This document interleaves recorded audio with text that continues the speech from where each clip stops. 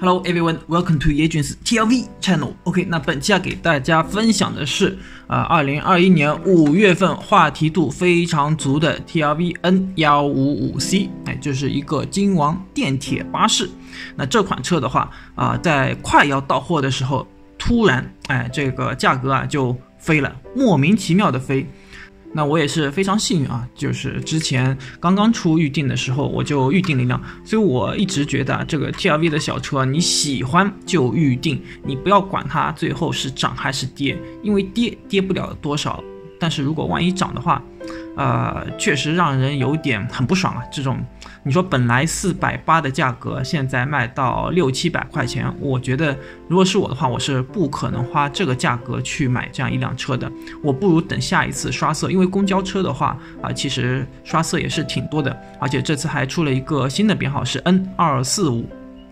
那 N 二四五也是在幺五五 C 啊，就是涨了之后啊、一夜之间也是我还基本上就是淘宝全网啊预定就没了，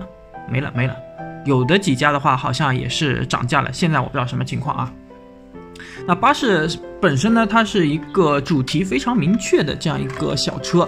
那在上上个月吧，然后 TRV 也刚刚是出了这个 Car Snap 一个 bus stop 啊，就是一个公交车站台，所以当时我也是觉得啊，就是它推出这个时候，我就猜测啊，预计到啊，它马上会出巴士。我觉得我现在这个预言啊还是可以的。啊，大家其实可以去我之前的视频当中哎看一下。那今天就简单给大家分享一下这辆公交车吧。然后我也是把这个巴士站台啊，哎给搭出来的。但巴士站台里面还有一个婴儿车，以及一个推推婴儿车的妇女，以及三个鸽子。但那个的话比较难摆放，这边啊我就放了就是一个下学的少女啊，不是下学啊，是放学的少女，以及一个下班的中年男子，哎，这样搭一个公交车场景。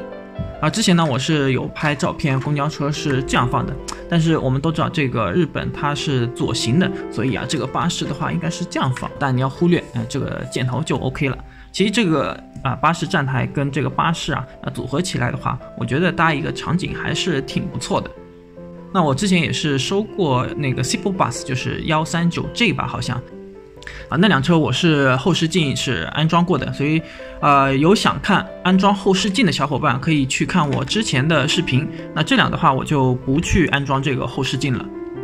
因为确实安装之后啊，回合的话比较麻烦，是需要把里面的那个塑封啊，得两边都要抠洞，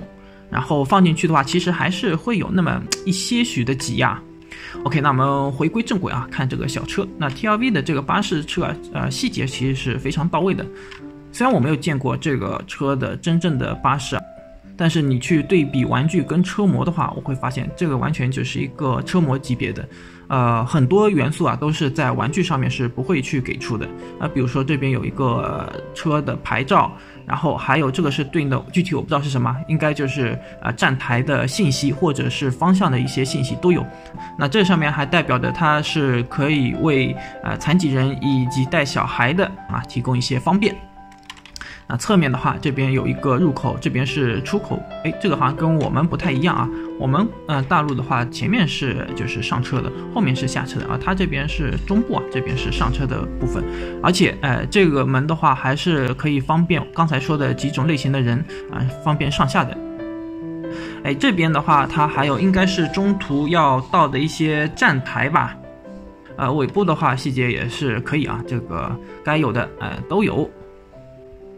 那另外一面，哎，这个是没有门的，这个跟啊各个国家公交车都是这样子啊，它只有一面有门，这个是为了安全啊。这边有一个逃生窗，然后我们看一下车内部细节的话，哎，是非常的多，非常的丰富，哎，这种分色啊，其实也是根据真车的里面的涂色来设计的。呃，座位的话应该都是独立件，所以啊，有些啊、有一位朋友啊，他就是里面有一个座位掉下来，其实哎、也有点尴尬。这种情况的话，其实只能卸底盘，然后重新安装啊、重新捏一下。然后方向盘的刻画也都是非常的棒。那总的来说啊，呃，多美卡的这种偏现代的巴士其实都是差不多，应该说是都是同一个模具吧。啊、一个是 Isuzu 的，一个是日野的，但是模具是一样的。那这一款其实它是一个日野的，但是呢。啊，它应该是日野跟 Isuzu 啊是联合开发的，所以啊同一个车挂不同的车牌。哎，这个车的话，应该可能会成为啊 TRV 这个巴士的末代死鱼眼，因为新的那个 N 二四五啊，已经对模具进行了一个改进，哎，就没有这种死鱼眼的形式了。啊，最近 TRV 它的大灯啊做的都是有所改进啊，之前的这种死鱼眼的现象是得到了不错的改善。底盘信息还行吧，中规中矩。啊，上面是有空调的这个细节，然后这种车公交车啊，越是大的车，其实滚动性越没有问题。但这个车，呃，可能是轮轴啊不太润啊，有咯叽咯叽的声音，哎，这个问题不大啊，瑕不掩瑜。所以如果你拥有了这一台巴士的话，呃，我是建议大家再去搞一个巴士站台，这样的话就是你的把玩会更加的丰富。如果单个巴士的话，会感觉有点孤零零的，但你也可以买其他品牌或者自己做一个巴士站台。因为 TRV 的这个场景啊，实在是性价比太低了。OK，那本期的 TRV N 幺五五 C 日野巴士啊，就给大家分享到这边。我是叶军，那我们下次见，See you。